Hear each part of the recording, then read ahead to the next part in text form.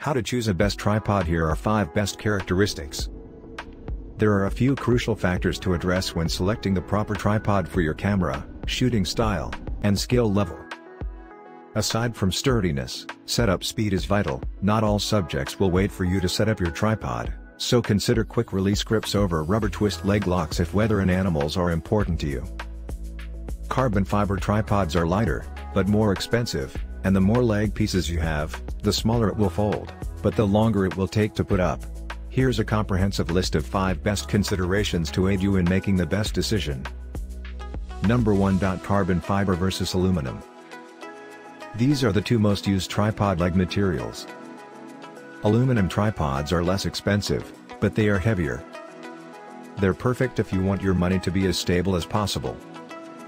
Carbon fiber tripods are more expensive, but they are lighter and absorb vibration better.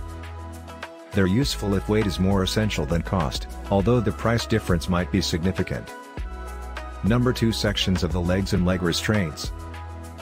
Legs for tripods may be divided into 3, 4, or 5 parts. When folded, a tripod with a higher number of parts is shorter and more portable, but it may take a bit longer to put up and may not be as sturdy. Twist locks and flip locks are the two most common varieties. Twist locks take up less space and are often easier to operate, while putting up the tripod, you can frequently open all of the leg pieces in a single motion. Flip locks are separately controlled and may be a little slower.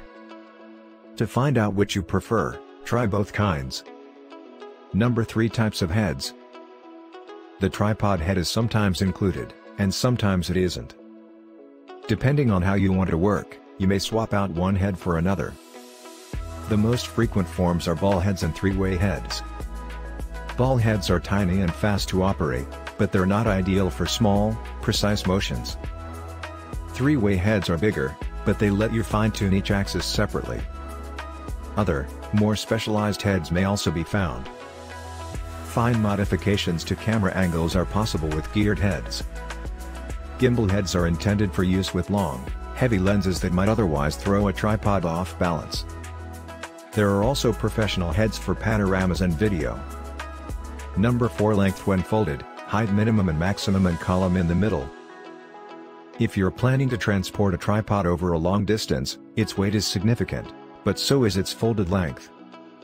It will put you off carrying it anywhere if it is too lengthy to attach to your luggage and is awkward on trains or while climbing over stiles. Many travel tripods include legs that fold up and fully surround the head for storage. When folded, they are smaller and neater, making them simpler to carry. It's not always better to shoot at eye level, but it's also important to find a comfortable working height. If possible, measure the height without the column extended. Although not all tripods have a central column, the majority do. You may stretch this higher to raise the camera's height, but this will add further wobbling.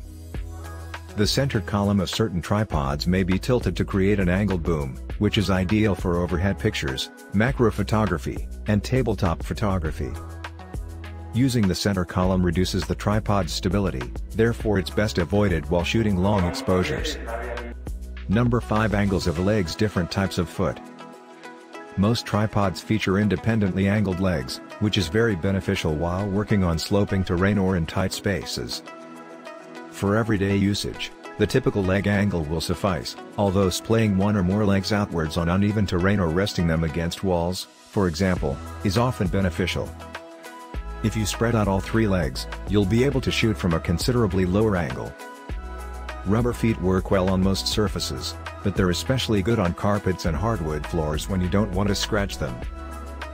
Metal spikes are ideal for soft, uneven terrain. And lastly the rubber feet of certain tripods may be screwed back to expose spikes. Thanks for watching and subscribe the channel for more.